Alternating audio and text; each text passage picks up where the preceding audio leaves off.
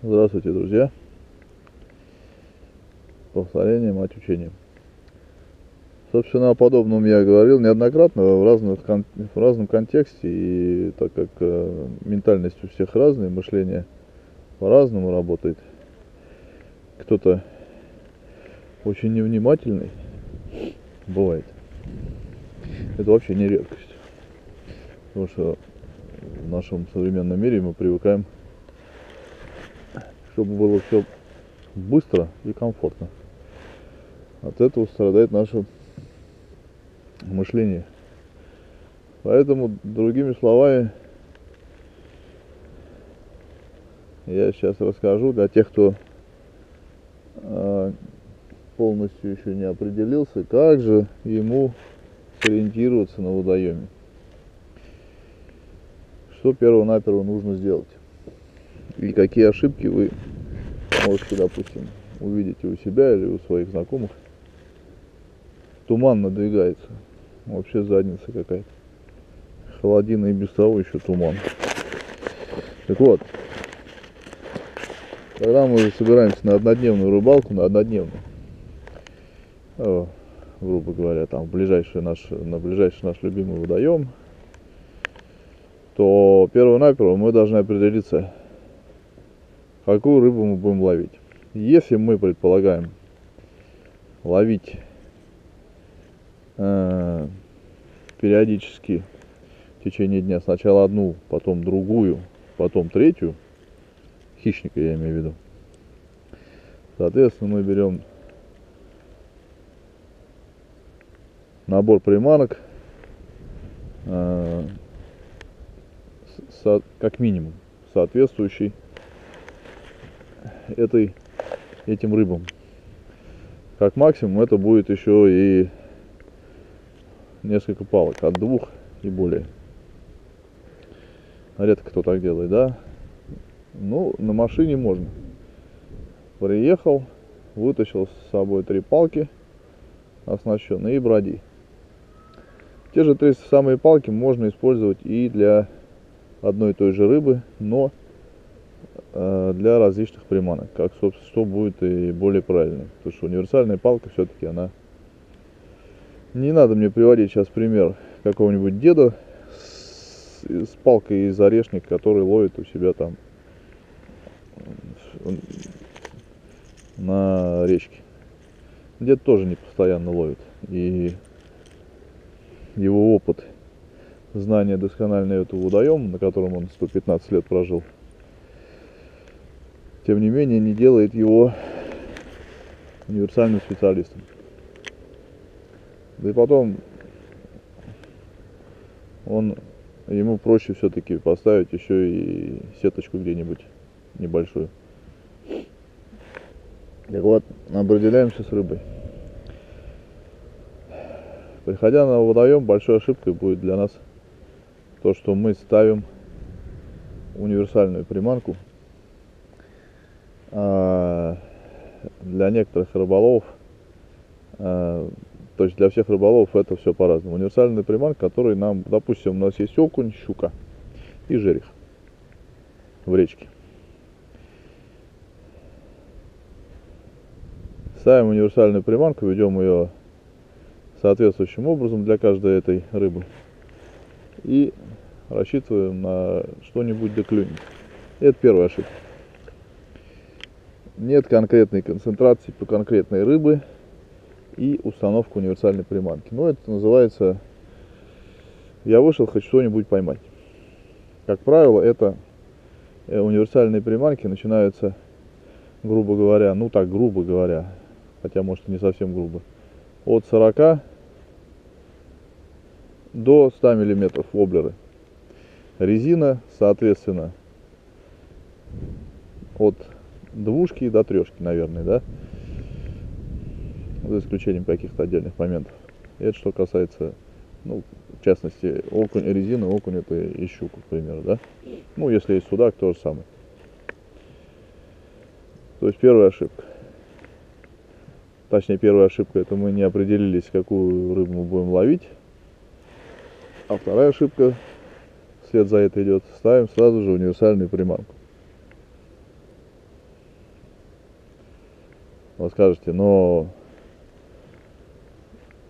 на одну и ту же приманку с одной и той же тактикой может клюнуть сразу три рыбы. Например, окунь, судак и щука. Может.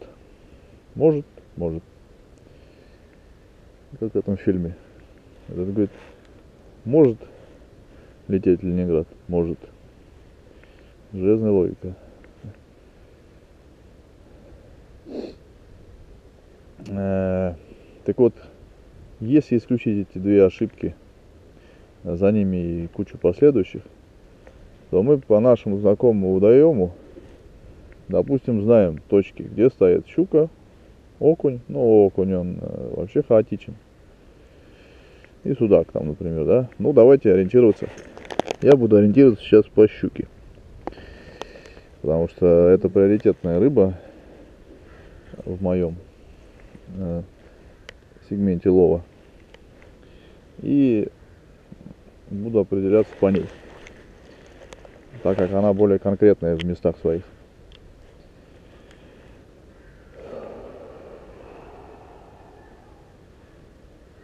Знакомый водоем нам известен, но известен бывает как?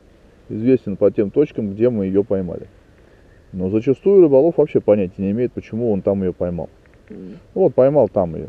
Потом там, там, там, там. Вот это вот рыбные точки. Почему они рыбные точки, он понять не имеет. Поймал на тот или на тот воблер, который через два года перестает работать. Кто фанат резины, он поймал на резину. То есть ориентир в основном такой. Я поймал на там-то на вот этот вот мою любимую приманку. Или их у меня несколько худшем случае. В лучшем случае человек э, подразделяет их на те, которые, допустим, ловят с утра, вечером, днем. Или что-то в этом роде. Хотя, давайте это опустим.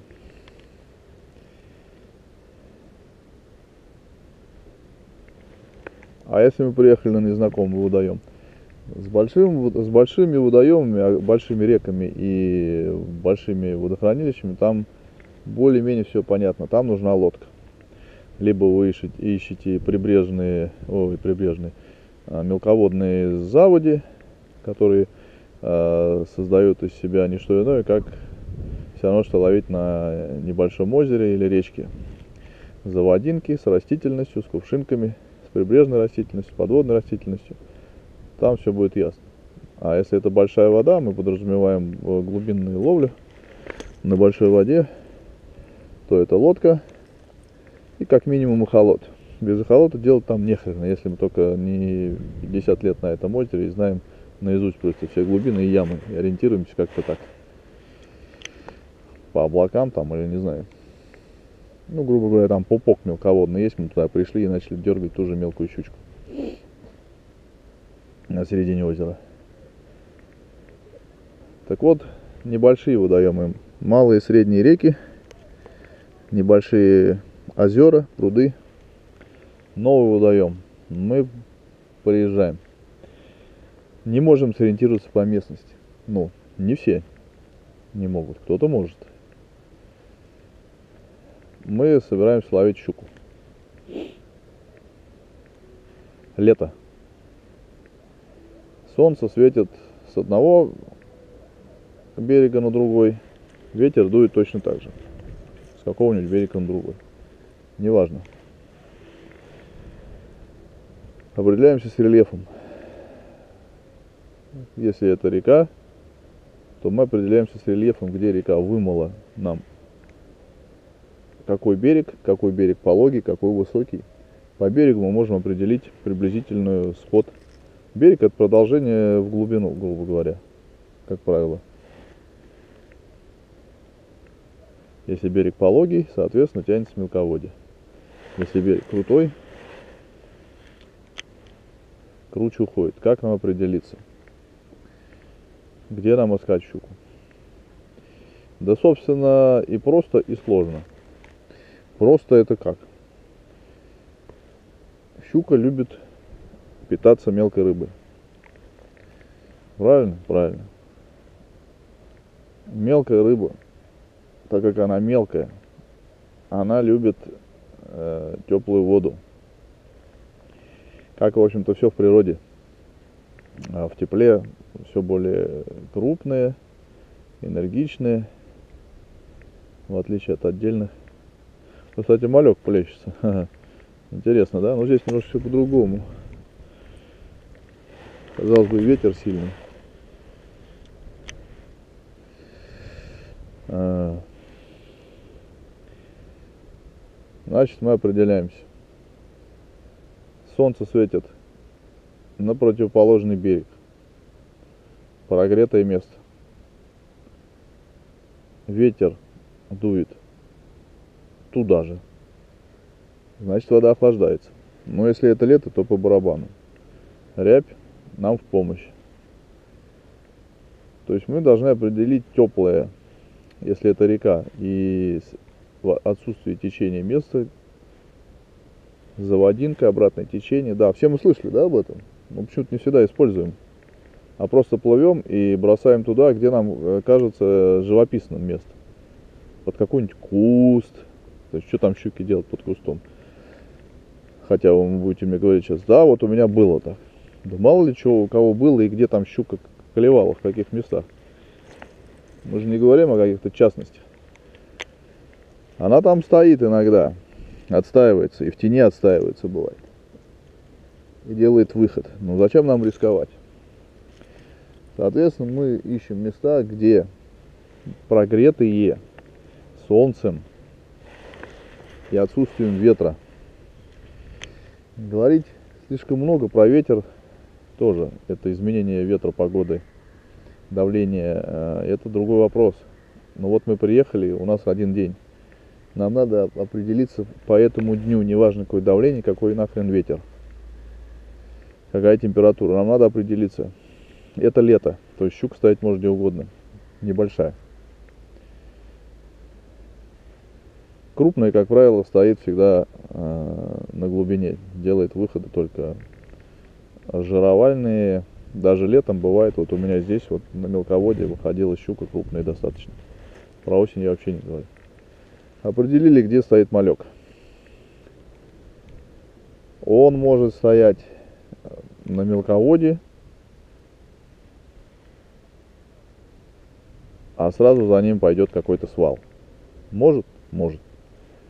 Щука не стоит около малька. Она туда может сделать выход. Может? Может. Откуда? Так вот мы определяемся. Щука, она всегда прячется кто будет мне сейчас рассказывать, что она там э, в толще воды стоит, она там не стоит, она там бывает. По каким причинам мы не видим. Но эта причина может быть, как, да, все мы видели видео, э, подводная Ирландия, где щука вышла за приманками и идет за ними. Часто вы такой встречаете своим приманкой? Да вы понятия не имеете, вы же, у вас нет подводной камеры на приманке, вы не видите, идет она за ней или нет. Хотя я слышал неоднократно такие предположения от рыбаков, такое ощущение, что у них камера на воблере стоит.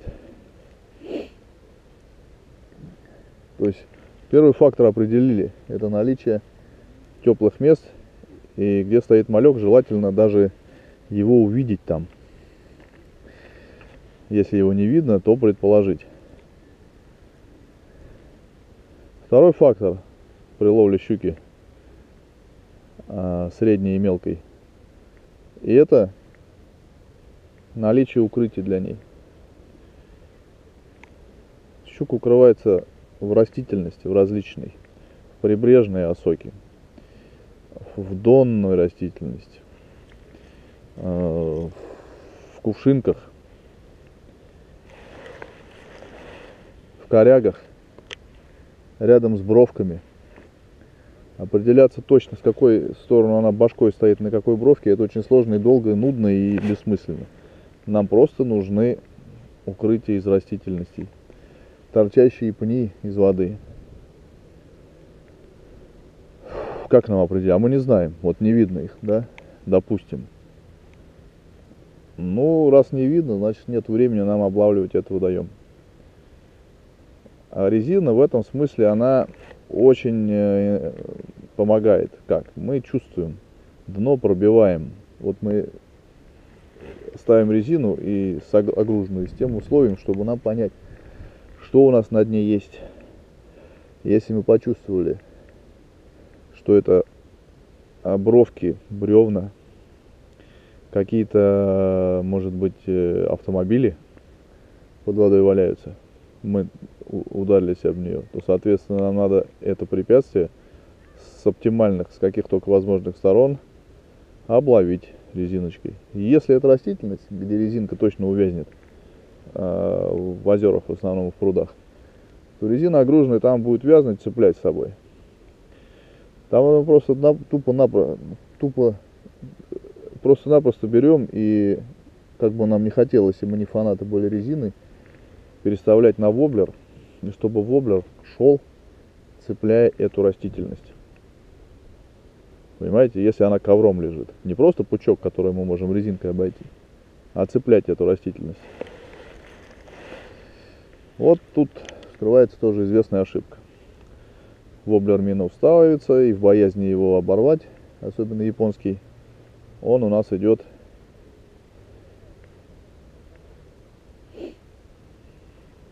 в толщу воды. Да, выходит щука иногда. Но большая трата времени именно на то, на то, что мы просто его там полоскаем. Мы можем даже и первоначально на незнакомом водоеме поставить резинку и обловить ей. Обловить ей именно понять, какой рельеф дна. Это вообще тактика очень хорошая. И потом уже поставить воблер. А вот какой воблер поставить? Какая растительность, какая ее плотность? Если это коряги, то очень хорошо кренк поставить учитывая, конечно, те аспекты, о которых я говорил ранее в видео, мутная вода или прозрачная. В мутной воде хороши приманки шумные. Это не значит, что мину не будет ловить. Мину тоже можно будет поставить достаточно гидродинамичной, равномерной проводкой провести. Либо мы используем